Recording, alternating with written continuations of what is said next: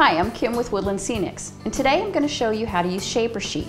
I'm going to show you how to shape your Shaper Sheet so that you can achieve any level of detail, as well as how to apply Shaper Sheet plaster to give your terrain a strong, hard shell.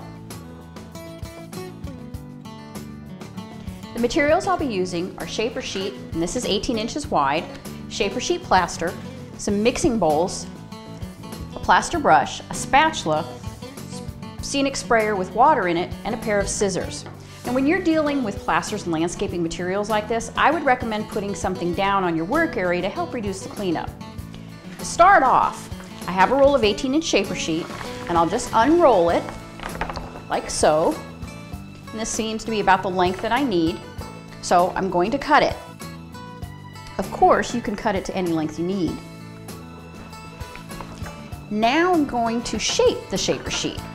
Because it's strong and pliable, it holds its shape and can be manipulated and reshaped to create any level of detail. Each contour looks very natural. Next, we're going to mix the shaper sheet plaster according to package instructions so we can apply it to the terrain. Shaper sheet plaster mechanically bonds with shaper sheet, giving it a permanent hard shell and locking the contours in place. I have mixing bowls here with measurements marked on the inside. I'll measure 8 fluid ounces of shaper sheet plaster now I'm going to slowly add it to 3 fluid ounces of cold water, which I already have in this bowl. You don't have to follow these measurements exactly. Just make sure you mix roughly a 2.5 to 1 ratio. Okay, now the plaster mix needs to sit for about 2 minutes to let the water soak. After the 2 minute wait is up, I need to mix the plaster for about another 1 to 2 minutes so the consistency is nice and smooth with no lumps.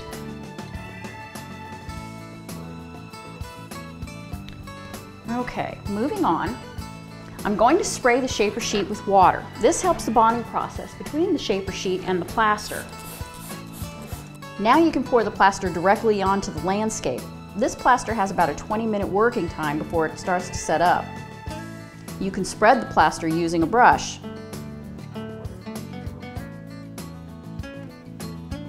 If you find that your plaster is too thin, you can always add more plaster to your mixture. Another way to give Shaper Sheet that hard shell is to use plaster cloth. Again, following instructions on the packaging, drag a sheet of plaster cloth through the water and carefully apply it to your Shaper Sheet. We suggest that it be overlapped by about half to help improve the overall strength of your shell. Now that the terrain is made, I need to let it dry for 24 hours. The terrain is dry, so let's add our landscaping.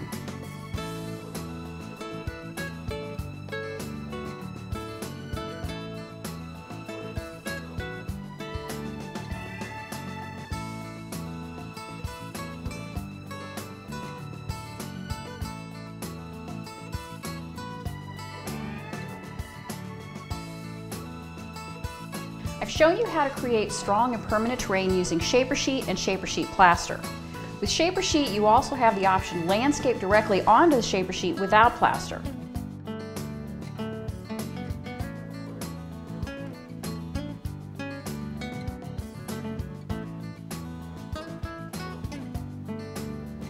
Although it won't have a hard shell, as long as it doesn't have to bear any weight other than the landscaping, it will hold its contours very well. Shown you how to create unique landscaping using our shaper sheet with a hard shell and without. Maybe you have a large area and need to combine multiple sheets of shaper sheet. I'm going to show you how to splice two pieces together. To do this, you have to peel the shaper sheet layers back to expose the sticky side of the sheet. Make sure you peel back both the fiber mesh and gauze backing. It's important to get a hold of both when peeling it back. You only need to pull back about a half an inch to an inch. Place the next sheet on top of the exposed foil like this.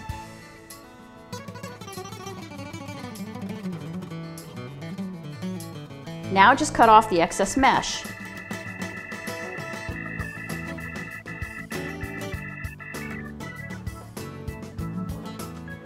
There are countless techniques that can be applied to shaper sheet, so don't feel limited to what I've shown you. I hope you enjoyed this video. If you'd like more information about our products or you'd like to see more how-to videos, visit us at woodlandscenics.com.